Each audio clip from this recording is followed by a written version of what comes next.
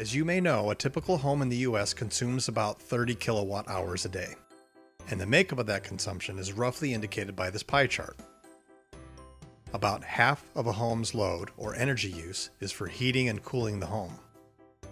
Another 12 or 13% is for cooking, washing, and drying.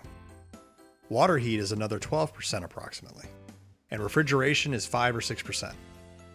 The remaining 20 to 25% is made up of miscellaneous consumption by branch circuits, such as lighting, outlets, and the small electronic devices connected to those circuits.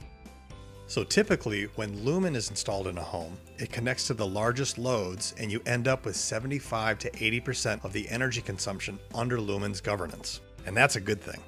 Let's go through a couple of scenarios now and see how Lumin affects an energy storage system when connected to your home. Let's assume for the first case that you have a big battery. Call it greater than 50 amp discharge capacity with, say, greater than 27 kilowatt hours in the tank. As you can see, even with a big battery, 27 kilowatt hours of discharge capacity versus 30 kilowatt hours of daily consumption can sometimes be limiting. It's important to have load governance and something that's on the watch, so to speak.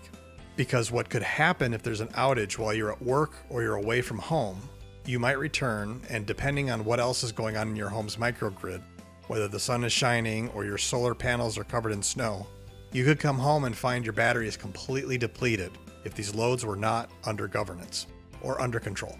So, what Lumin does is stand on watch. As soon as there's an outage, Lumin automatically detects it. It then brings the heavy loads under governance. It will shed these loads immediately, bring that outage under control, and then you can interactively pick and choose some of these loads to bring back online as needed, and as your battery charge allows. So, what you end up with, with Lumin on the watch, is a battery system that is protected. It is protected in the event of an outage so that we don't deplete the battery prematurely. That is why installers all over the US, from California to the Caribbean and elsewhere, are recommending Lumin for large battery systems as the governor and protector of home energy storage systems.